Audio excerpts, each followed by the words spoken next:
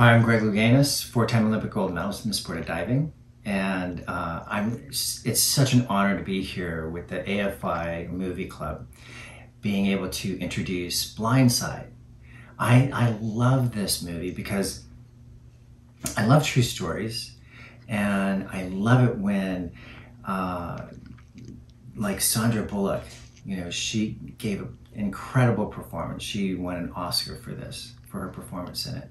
And the way that she was as a Southern mom, um, background in, in cheerleading, and she knows the, the sport of football. And so the way that she reframes it for uh, Michael Oher, because Michael Oher has a high aptitude for protection.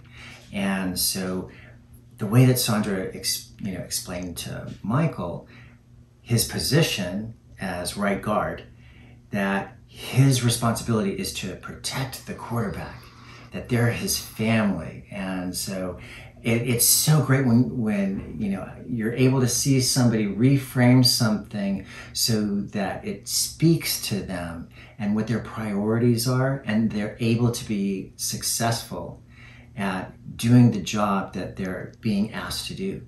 And I thought that was an incredible story of, you know, really heart and tenacity. You know, and so it was an incredible cast with Tim McGraw and Quinton Aaron as Michael Oher, and it was a phenomenal film. And I hope you enjoy it. Have fun.